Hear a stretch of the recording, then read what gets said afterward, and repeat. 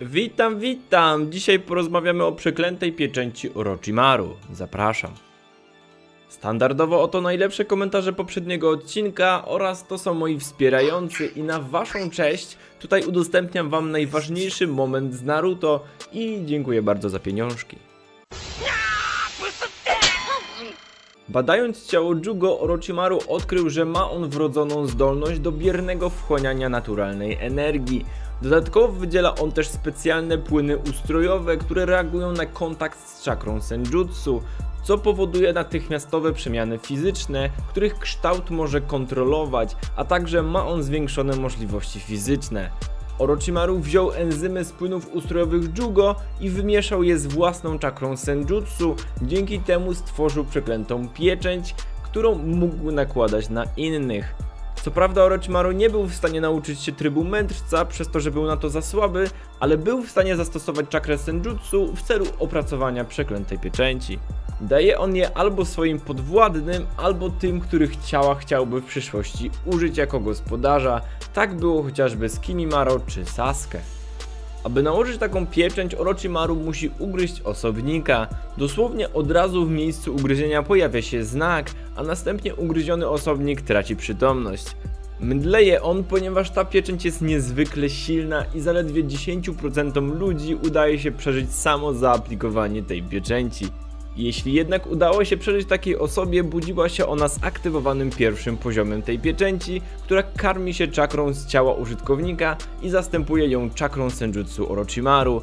Dzięki temu zwiększa się poziom czakry dziesięciokrotnie oraz wzmacnia jutsu użytkownika. Dodatkowo w tym momencie moc tej pieczęci nie jest przez nich kontrolowana.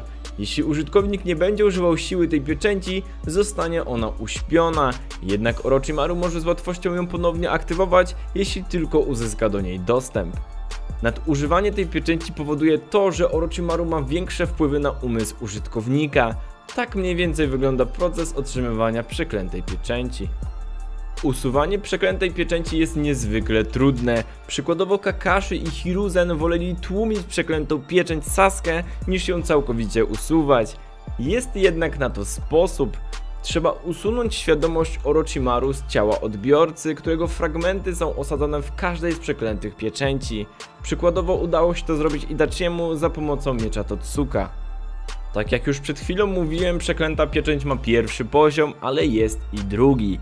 Jednak gdy znak jest nieaktywny, jest po prostu czarnym tatuażem na ciele użytkownika. Oprócz tego, że pieczęć ma dwa poziomy, to również moc i typ różnią się od siebie. Również w zależności od nosiciela wzór rozprzestrzeniającej się pieczęci wygląda inaczej. Pierwszy poziom charakteryzuje się tym, że pieczęć świeci się podobnie jakby się paliła, a następnie rozprzestrzenia się danym wzorem na ciało użytkownika. To jak daleko ten wzór się rozrośnie po ciele zależy od nosiciela. Dodatkowo czuje on lekki ból podczas aktywacji tego poziomu. I to jak daleko rozprzestrzeniła się pieczęć jest równe z tym jak bardzo postać jest wzmocniona dzięki właśnie niej. Drugi poziom powoduje fizyczną transformację ciała użytkownika, podobną do transformacji Jugo. Tak jak użytkownik ma żółte tęczówki, czarne twardówki, zmieniony kolor skóry i dłuższe włosy. W tym też momencie pieczęć pochłania umysł i osobowość użytkownika, co doprowadza ich do szaleństwa, jeśli jest długo używana. Ten poziom również wpływa na ciało użytkowników, bo jest ono mutowane, a jednocześnie doświadczeni użytkownicy potrafią transformować tylko określone części ciała.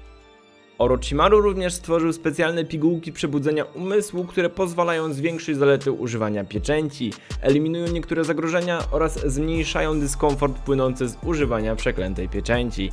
Ponadto pozwalają one osiągnąć drugi poziom, którego zazwyczaj większość nie jest w stanie przebudzić naturalnie. Jednym z efektów ubocznych brania takich pigułek może być śmierć, także polecam serdecznie.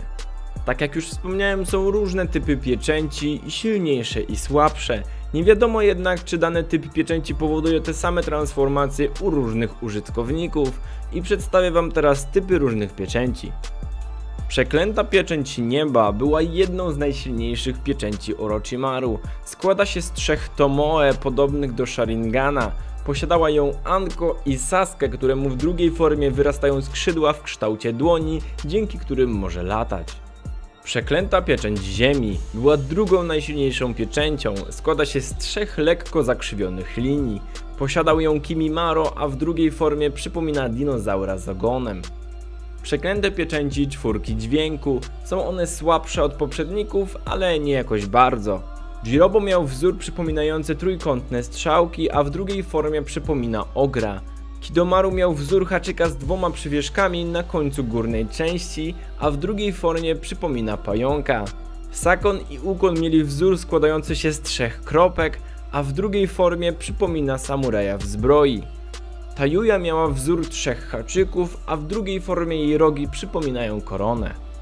Przeklęta zwierzęca pieczęć jest to eksperymentalna pieczęć niestabilna i niekompletna. Pieczęć wygląda jak zielona czaszka z otwartą szczęką, posiadał ją Mizuki i podczas przemiany wyglądał jak tygrys.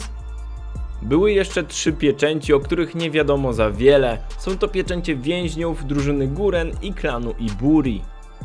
Ostatnią rzeczą jaką powiem w tym temacie są skutki uboczne, a tutaj jest tego sporo.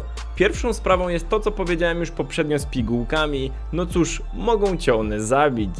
Po drugie, zazwyczaj użytkownik nie jest w stanie kontrolować, kiedy przeklęta pieczęć jest aktywna. Po trzecie, to, że pieczęć żywi się czakrą użytkownika powoduje kolejny problem, bo gdy już pożre ją całą, to osoba ta umrze, a w świecie Naruto brak czakry równa się śmierci.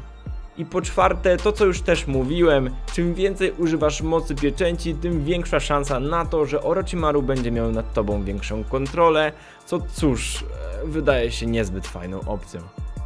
Podsumowując, gdyby nie skutki uboczne, które są tragiczne, to taka przeklęta pieczęć mogłaby być nawet fajną opcją na dość prostego power-upa. Niestety jest jak jest i tego nie zmienimy. To już by było na tyle, nie zapomnijcie lajkować, dać łapkę w górę i polubić ten filmik. Cześć!